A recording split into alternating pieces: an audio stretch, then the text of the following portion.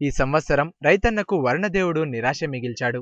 ఈసారి సాధారణం కంటే యాభై రెండు శాతం తక్కువ వర్షపాతం నమోదైందని వాతావరణ శాఖ తెలిపింది. ఈ సంవత్సరం వర్షాలు లేనందునే ఎక్కువ నీరు అవసరమయ్యే పంటలు వేయవద్దని వ్యవసాయ అధికారులు రైతులకు సలహాలిస్తున్నారు. గడిచిన ఇరవై నాలుగు గంటల్లో మెట్పల్లిలో ఎనిమిది సెంటీమీటర్లు నమ్మెట్టలో ఏడు సెంటీమీటర్లు ఇబ్రహీంపట్నం నిర్మల్ గోవిందరావుపేట్ జూలపల్లిలో ఆరు సెంటీమీటర్ల వర్షపాతం నమోదైంది. మద్దూరు గన్పూర్ పరకాల హుజూరాబాద్లో ఐదు సెంటీమీటర్ల వర్షపాతం నమోదైందని వాతావరణ శాఖ తెలిపింది.